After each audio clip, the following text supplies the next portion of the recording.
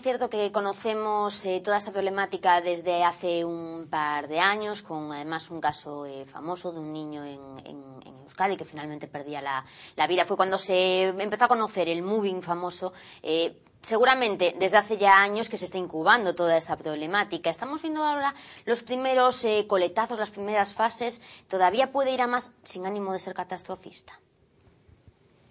Ni catastrofista ni alarmista, pero estoy seguro que puede ir a más, que ir más porque es un problema de comportamiento.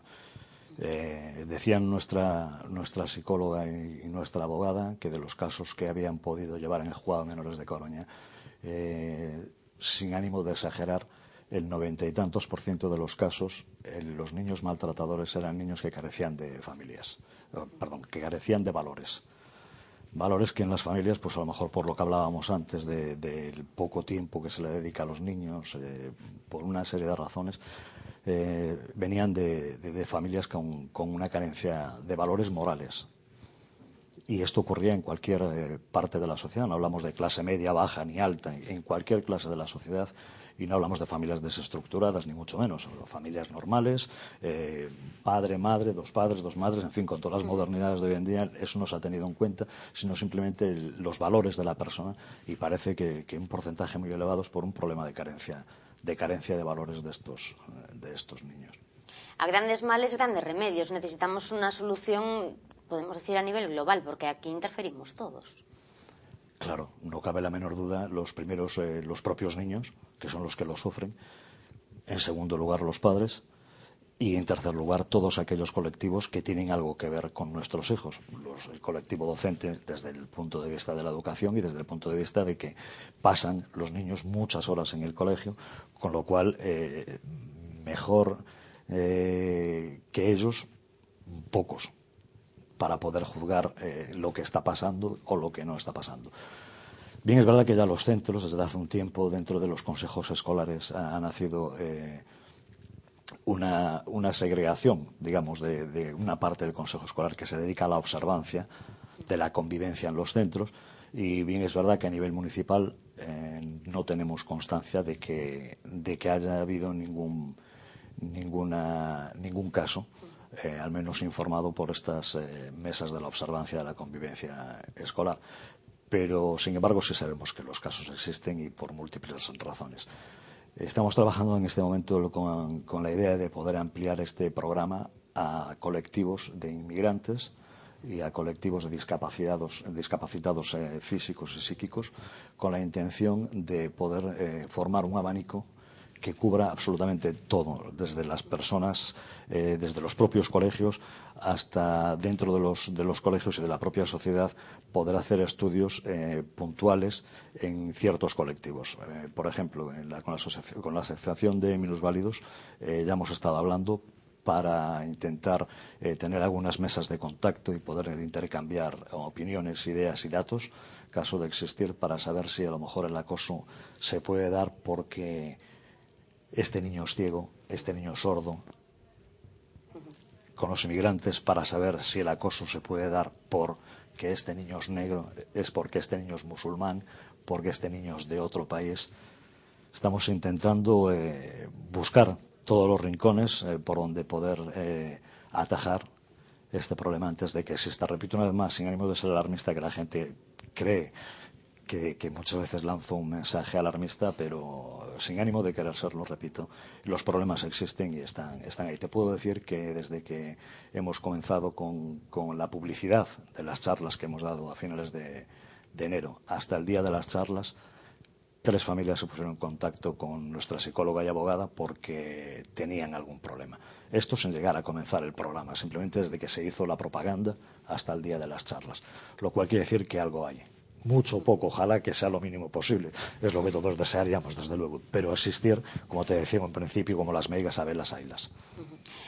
Sí, hay que decir que, bueno, mm, como decíamos antes, que antes había el, el, mítico matón que te quitaba el dinero, también hay que decir que los niños a veces son crueles. Y si eres alto, porque eres alto. Y si eres bajo, porque eres... a todo te sacan defectos. Pero claro, si aún encima de ser alto y muy delgado, aún encima eres musulmán, pues entonces, claro, ahora ya se complica el asunto muchísimo.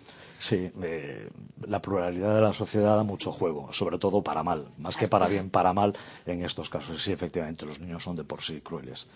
Y, es una forma más, como no, de, acoso, porque que todos los días te estén intentando excluir, excluir que no puedas eh, formar tu propio grupo de amigos, que no te puedas integrar en un grupo de amigos dentro del colegio, que todos los días te insulten por tu religión o por el color de tu piel o por pues es un acoso que psicológicamente al final acaba derrumbando a, cualquiera. Y más es, si hablamos de, jóvenes que son todavía inmaduros y no pueden no tienen eh, mentalmente esas, esas, herramientas para aislarse un poco. Y bueno pues estos son cuatro locos porque el resto de los niños del colegio eh, me puedo hacer eh, con ellos me puedo hacer amigo de ellos como comentabas, tres familias se han puesto en contacto con vuestra entidad, con la federación. Eh, me imagino que les asesoráis psicológicamente y también pues, con la abogada y con la, y con la psicóloga, psicológicamente y jurídicamente. Efectivamente, esa es, nuestra, esa es nuestra misión, es la herramienta que tenemos a disposición de todo aquel que lo necesite dentro del ámbito de los, eh, de los colegios de Ferrol y, su comarca. Además de este programa, ¿tenéis eh, pensado llevar a cabo algún otro tipo de actividad o de pues, también charlas o conferencias en otro ámbito que a lo mejor no sea solamente el de los centros escolares? Bueno, en principio, como te decía, hemos eh, reclamado un poco, estamos viendo la posibilidad de hablar con, con los, eh, con el Centro de Minusválidos hemos, hemos hablado, con la Asociación de Minusválidos hemos hablado y con, la, con las asociaciones de inmigrantes. Eh, la Asociación de Inmigrantes Uruguayos, me parece que es de Ferrol, ya tenemos contactos también para poder eh, establecer con ellos una mesa de, trabajo y por lo menos un intercambio de ideas y de, y de datos y, de, problemas que puedan tener. Y me imagino que detrás del colectivo de uruguayos pues, podremos hablar de otros colectivos que estén establecidos como tales colectivos para tener una persona jurídica a quien y no una persona física, alguien que representativo al que poder eh, dirigirnos. Desde luego seguiremos en esa, en esa línea, intentando cubrir el máximo posible del abanico de posibilidades que nos, eh, que nos ofrece la sociedad de Farol. Los que se quieran poner en contacto con vosotros, ¿qué es lo que tienen que hacer? Pues si hablamos a nivel escolar, a través de su asociación de padres de alumnos, esta, eh, la asociación de padres de alumnos de ese centro le remitirá a la FAPA y yo contactaré con las eh, profesionales, con la abogada y con la, y con la psicóloga y los pondremos en contacto a ellos, quedándonos nosotros al margen porque no nos interesan ni nombres ni problemas. Y como buenas profesionales que son, sabrán guardar su secreto profesional, no me cabe la menor duda. Bueno, eso, eso ya creo que casi no hay ni que decirlo, pero bueno, nunca está de más nunca está de más. ¿No tenéis algún punto de referencia a que, pues, eh, si alguna persona que no, no, se quiere poner en contacto con, las APAS, por lo que sea, eh, puedan acudir a vosotros? Sí, bueno, es una parte de las nuevas tecnologías que hablábamos antes, que son malas o buenas según el uso que se le dé. En este caso tenemos, hemos creado un blog para que de forma anónima todo aquel que quiera eh, participar que quiera expresar sus opiniones o que tenga alguna queja o un problema lo pueda depositar de forma anónima en el blog y será atendido directamente por la psicóloga y por la, y por la abogada. Además, tenemos intención de crear unos eh, pósters para que se puedan colocar en todos los colegios y debajo de este póster con unos pequeños, eh, unas pequeñas reseñas de nuestro programa se pueda colocar un buzón donde de forma anónima los alumnos o los profesores o los padres que así lo deseen puedan eh, dejar depositar dentro de ese buzón eh, sus quejas, sugerencias o problemas, de tal manera que los responsables de, esa, de ese APA eh, recogerán las sugerencias de los buzones, los, los entregarán en la federación y la federación directamente a las responsables profesionales del programa. Pues muchas gracias por estar con nosotros, José Romón. Esperemos que la próxima vez que vengas a Canal 31 sea para darnos buenas noticias, aunque tampoco podemos decir que sean muy malas las que nos estás dando, porque bueno, básicamente tratamos información para aquellos que nos están viendo, pues que, sepan un poquito más acerca de, esta problemática tan complicada que, estamos sufriendo todos al fin y al cabo. Gracias por estar con nosotros. Gracias a vosotros y agradeceros la oportunidad de dar, a conocer el programa a nivel de, de toda la sociedad de Farol y una vez más, insisto, abiertos estamos para a todo aquel que lo necesite. Muchas gracias.